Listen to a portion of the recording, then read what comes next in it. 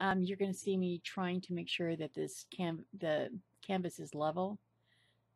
I was trying to make sure that the paint would flow evenly throughout the canvas because I tried my hand at that colander liquid pour. Um, this was a fail. Painting still turned out fine, but it didn't turn out the way I wanted. So I am putting little shivs underneath trying to make sure that the canvas is level.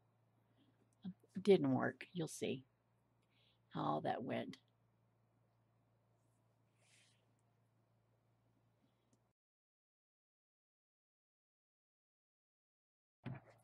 Now here's where the fail is. I'd watched a video where she said that she had her paint too um, thick and it wasn't spreading over the entire canvas properly. So I decided to thin it, but in my zealous to do this, I thinned it too much. So especially the white, look at that. And then what? there was another color. The red was way too thin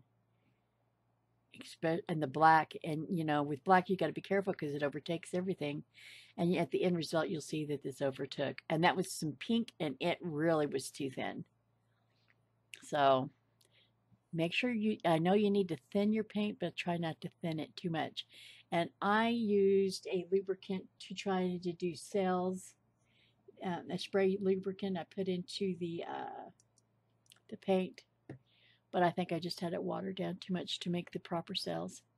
At any rate, enjoy the video. Um, I'm going to try this again just a little bit different. And uh, I tried to thicken up my paint, so we'll see if that worked on the next one. Um, but enjoy this video, and I will see you on the next one. Thanks.